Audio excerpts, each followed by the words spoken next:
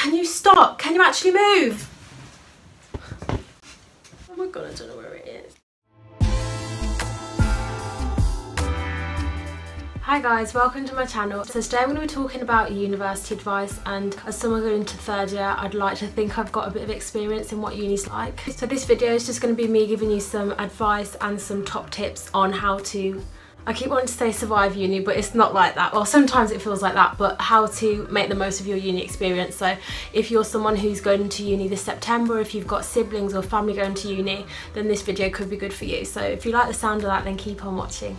So I'm going to try and split this video into sections, like subsections, so if you want to skip to a certain part, then you can. So yeah, I'll just leave um, timestamps for each of the different sections. So I actually did freshers twice thinking about it because I did start a dental course which I then quit like six months later because I was not feeling it.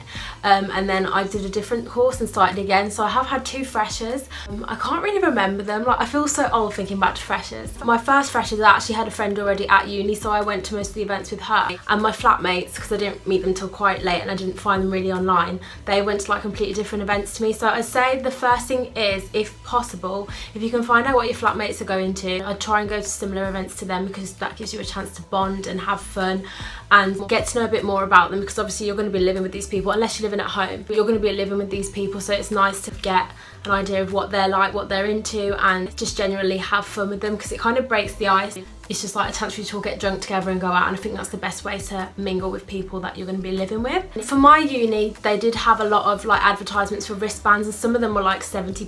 At ours we have like the student union so you have a wristband for that and then we have an in-town one as well. I think I went for the in-town one because the other one was so expensive. Have a look around, ask other people who have already been before and see which one's best because they're both probably going to be good. I don't think I went about it in the best way because with my flatmates that I had in first year, they weren't really like me, they were very different. And so as a result, because I already knew someone else who lived on the accommodation but not in my flat, I kind of just kept going to her because I felt a bit out of my comfort zone and I was mingling with people that I wouldn't normally talk to. But looking back, I think if you are in that situation where you immediately think, wow, these people aren't who I'd normally hang out with, don't immediately discard them. Don't exclude yourself from events, still try and make the effort to socialise with them because you are living with with them for a whole year so it is good to have nice vibes between all of you. And even if you don't hang out socially because you might have different interests it's still nice to have that kind of acquaintance slash friend relationship with them. And if you need support off them or if you just want a bit of company and your friends aren't around they'll be there for you. Even if you feel really awkward and nervous just pretend that you're not like literally bluff it. Because they don't know what you're like. They've never met you before so you can literally act like the most confident crazy outgoing person ever and they wouldn't know any different Living away does give you a lot of independence because you're not relying on your family to buy your food. You've just got that, you're kind of thrown in the deep end really. You have to do your own shopping, you've got your own keys, you've got your own bills to pay and everything, but I loved it. Like, I didn't feel stressed and obviously I was in actual accommodation the first year and you don't have to sort the bills out yourself.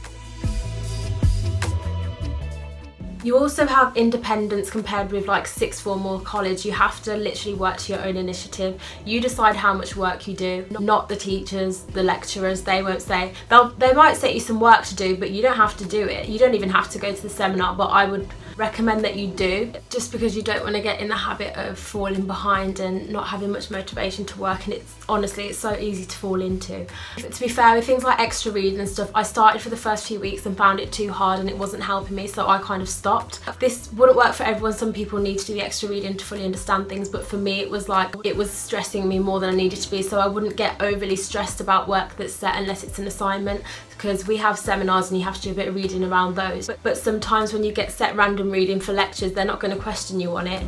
It's just more having that extra knowledge for when it comes to assignments, but I'd rather wait till the time that exams come around and then do my own research then that I can actually understand. Because sometimes they like to give you the most confusing sources from like 1996 written in literally not English. And I'm just like no there's no point me wasting my time. So you've got to judge for yourself whether it's going to be beneficial for you. Just because the uni says it is doesn't mean it necessarily is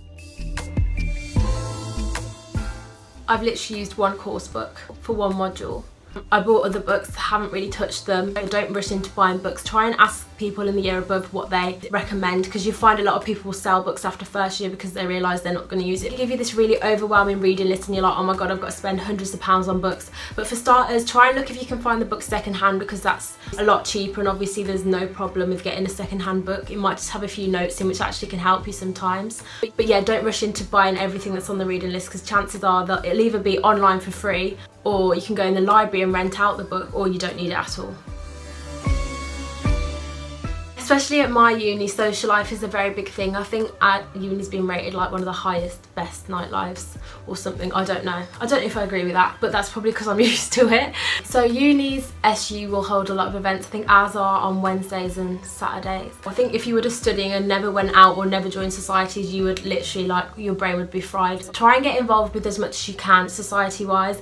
Go on nights out. In first year, people go crazy, I think, like, because for a lot of people, first year doesn't count. Like for my course, didn't count and I'm kind of upset because my grades were in first year and then second year when it counted they went down so that's a bit annoying. For me personally, I wouldn't want to get a bad grade in first year. I know it doesn't count, but for me, I wanted to see how good I could do and then that would help me in second and third year and especially because I've already done loads of reading in first year. It aids me to get a good degree overall. It's the foundation year where you, you learn the basic topics and then you build on those in consecutive years. So I think you'd be silly to waste your first year and just go out every night. You still have a lot of chances to go out in second year and probably third year. This year, I think I'm going to create a really organised plan to make sure I get pieces of work done and then once I have I'm rewarded with a night out. I think it's nice, especially if you have weekends free, to go out at the end of the week because you do your work and then it's like, oh yay, once this is all done at the weekend I can kind of let loose a bit. But we also have student nights which are Tuesdays and Thursdays so Now for the boring part, the reason we're at uni. Um, don't be afraid to ask the lecturer if you don't understand something. Email is used so much at uni. Like if you didn't use email before, like I didn't really use it. You, I'm literally checking my emails every day now. They are there to help you. Some of them might seem a bit intimidating and some are absolutely just annoying let's put it that way. But you can tell the ones that are really there to help you and you can also talk to people that are in the year above that have done the modules. For me it was actually most helpful to have a group of supportive friends so if I didn't understand something I could just go to them and sometimes we'd do like group sessions in the library and discuss stuff or do our assignments together. No plagiarism don't plagiarise. They don't shut up about that in my uni. It's probably the same everywhere. Just don't plagiarise because you will not get away with it. You'll probably get kicked out of uni. So just keep your work original. You can get ideas off your friends but but just make sure that you have some originality and you use different research to back up your points and things like that. It really helps to like teach each other and bounce off each other and ask questions. So try and get friends that recognise that partying's great but so is doing work. so in terms of motivation, that guy always gets ice cream. He's like 50 and I feel like that's why Mr Whippy stops right outside his house because they know that he's going to come and get ice cream. Oh, and his wife is as well. It's so cute. So a bit more on motivation. It's very easy at uni to lose motivation. I feel like I literally have periods where I'm like, yes, want to work, want to do well, want to get amazing grades, can't wait to get my degree. And then I'd say that's about like 30% of the time, if I'm being honest. Then 70% of the time I'm like, I really, really cannot be bothered with this. Like, I hate education, hate learning, hate writing, hate reading. I, I actually genuinely do not like reading, especially like academic sources. It just goes over my head. So I really have to force myself to read. But I do quite like doing assignments, especially when they're interesting and also it's quite rewarding when you see how you used to write compared to when you write in third year and see the skills you've picked up and how your grades sometimes go up. Mine went down this year but everyone else's did as well so I'm not too fussed but don't get in the habit of not going to lectures because it's so easy to fall into that and you just have no motivation to get out of bed. You're just like okay because we have this system where they record the lecture and you can just watch it at home but I know that I wouldn't do that. Like I've never had the motivation to open my laptop and review a lecture that's happened that I missed. So I try and go to as many as I can unless I'm not feeling well. For me it's not the end of the world if you miss a couple lectures but if you miss them frequently I feel like your general motivation just drops and you don't want to do anything. Just try and think about when you got accepted to uni, how ecstatic you felt, the reasons you're at uni, not just have a social life but to get a degree, get a good job and hopefully all the hard work that you put in will be reflected in your grade at the end. Please don't stress about your student loan. I don't understand why people stress. Honestly, they're like, oh my god, I don't want to go to uni, I'm just going to be in so much debt. When you have a job, you don't even pay it back until you earn 25k, which is such a decent amount of money to live off. And when they do take the money off you, they take it in such a small proportion each month, you won't even notice it's gone. Because I think they take it out before you actually get your paycheck, so you really won't feel that money go. I think so many people panic, they're like, oh my god, I've got thousands to pay off. After 30 years, if you haven't paid it all off, they write it off anyway. Like, it's really not going to affect you that much. And I actually think student loans are such a good idea because they're actually pretty generous, especially for people that have low income households. Like I did in first and second year have quite a low income household. I don't now, so I've got slightly less loan, but I've still got a decent amount, but it's the most money I've ever lived off. It's so sustainable. You can treat yourself, you can get nice food. And I think the main reason that I stress so little about my finances at uni is because I budget so well. People will literally get their loan and you get normally get your loan in three installments. People will just have their first loan in, they'll go crazy, be like, okay, let's go on a shopping spree, buy loads trainers, new clothes and everything. But I know if I did that, I couldn't guarantee how much I'd have left to live off and if it would last me after that splurge. So what I do, I actually get my mom to work this out because all the maths would hurt my brain, but what I do is whatever money I have coming in, I'll sort out how much is coming out and then whatever's left I will split that over the number of weeks I'm at uni so I have a weekly budget normally it's around 80 pounds And also if you want to have a big bulk of money for events like birthdays, Christmas, and you don't want that to come out of your weekly budget, what I do is I'll just say, okay, so keep aside like £400 bulk and then obviously your weekly money will go down slightly, not actually that much because it doesn't have that much impact. And then you've got a big bulk of money which can be your emergency money and your money for bigger events. events. Then you've got your weekly money to live off to get your food, to go to social events, stock up on makeup and I really do recommend budgeting like that whether you do it weekly or monthly. But don't just when you get your instalment go and splurge because it's just not sensible and then the people that do that tend to be the ones that are literally like they have a month until their next instalment comes in and they have like zero pounds in their account having to borrow money or live off like bread so yeah, I do recommend if you are stressing about how to be wise with your student loan, definitely split it into a weekly budget. It's helped me so much and I do that at home as well. It's saved me and I feel richer than ever to be fair and I don't even have a job. My friends have jobs, they seem to struggle more than me so I'm clearly doing something right. Cooking. The biggest skill that uni has taught me is cooking. Before uni I didn't know how to boil pasta. I didn't know how to boil an egg. All I knew how to make was like jam on toast.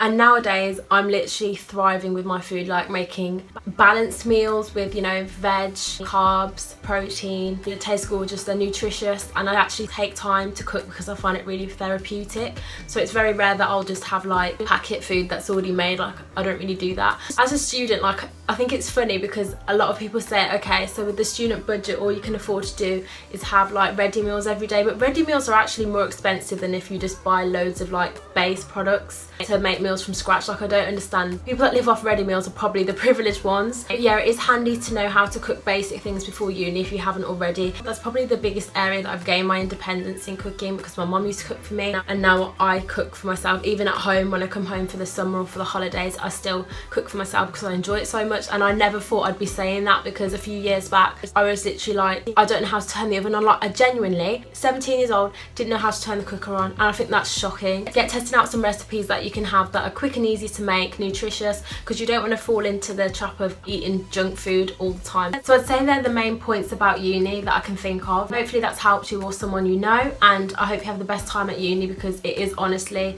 such a good time. It's a very stressful time, but, but I know that if I wish uni away and I'm just like, I want to graduate now, I want to graduate now, I'm going to look back and be like, I wish I was back at uni because if you think about it, it's just a few years to not be actually working. Well, you can work obviously part-time, to be in your own space, hanging with friends, learning interesting topics that are going to contribute towards your future career hopefully. So yeah apart from the stress it is like it's probably going to be like three of the best three or more of the best years of your life. So don't wish it away and just look forward to it. Don't be stressed because everyone's in the same boat like I said and you'll smash it. So I hope you liked the video and if you did like it please like comment and subscribe if you haven't already and I'll see you in my next video. Bye guys